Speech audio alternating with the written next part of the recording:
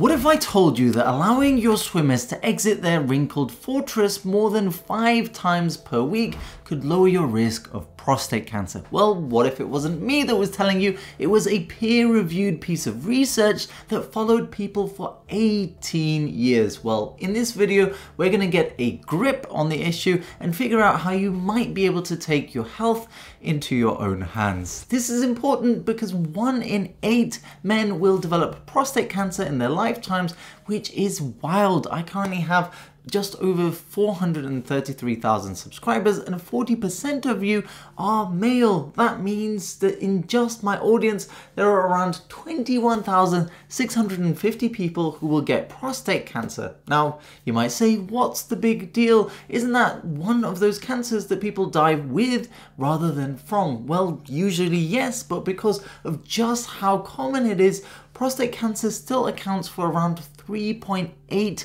percent of all cancer related deaths. So if there was a way to limit that, then surely that'd give a whole new meaning to beating cancer. Let's roll it back a little though because what even is the prostate and what does it do? It's a forbidden walnut that sits just underneath the bladder and adds the fluid that your motivated minis will bathe in during their race for survival. So not ejaculating can cause that fluid to sit around the prostate for a while and Rider and colleagues wanted to figure out what effect that might have on the prostate itself. To do that, they followed 31,925 men over 18 years and collected data about them that could impact their health, like their body mass, alcohol consumption, smoking history, ethnicity, physical activity levels, and history of sexually transmitted infections. Ideally, they wanted to compare groups of people who drained the main the most and the least, but there were so few people that did so three times or less per month that they had to disregard that group. That means comparing the ejaculation frequency of four to seven times per month to more than 21 times per month, they found that the latter group had a 20% lower chance of getting low risk prostate cancer. Interestingly, even though it is less common, there was no difference between the groups for high risk prostate cancer, which is the one more likely to spread to distant sites. All of this is fascinating because there are entire groups of men that are advocating retaining semen for as long as possible, like the NoFap movement that advises an initial period of 90 days for beginners, and that would go against the findings of Rider and colleagues but does the study even make sense? Because how might emptying the jingle bells regularly even reduce the risk of prostate cancer in the first place? Well, there are a few theories on this, and the first is the prostate stagnation hypothesis. Similar to what we mentioned before, over time, not releasing the secretions leads to buildup of carcinogenic compounds in the prostate that can affect its tissue over long contact times. You might then ask, what about the partner who would be receiving that semen otherwise? Well, if this is the correct theory, it seems the issue here is contact time and the prostate would have decades of undiluted contact with seminal fluid which wouldn't apply when that is elsewhere. The second theory is about maintaining a normal prostate metabolism. Normal ejaculation could allow for normal cell functioning, including zinc and citrate metabolism, which have been shown to be important in preventing prostate cancer. The third theory is that we know that cancers are linked to stress and ejaculation can relieve stress, potentially leading to lower risks.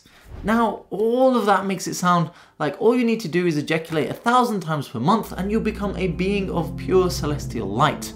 But there are limits to what we can tell from this study. Firstly, even though it is a pretty good study where the team controlled for some other factors that could account for these changes in prostate cancer risk like physical activity and weight, it's possible that the people who are ejaculating more may be generally healthier than those who are not. It may be then that the collected data didn't reflect all of those differences. What that means, especially because this was an observational study, is that ejaculation frequency is linked to prostate cancer risk, but we can't say that it causes it. That is still important because if you're avoiding juggling the jewels because you think it's bad for you, then Rider and colleagues suggest otherwise. Now you may also say that the worries aren't just around the act itself, but what people use to get it done, adult content. For that, there was another study called Harper and colleagues who found that the use of adult content became problematic in around 3 to 8% of people studied, meaning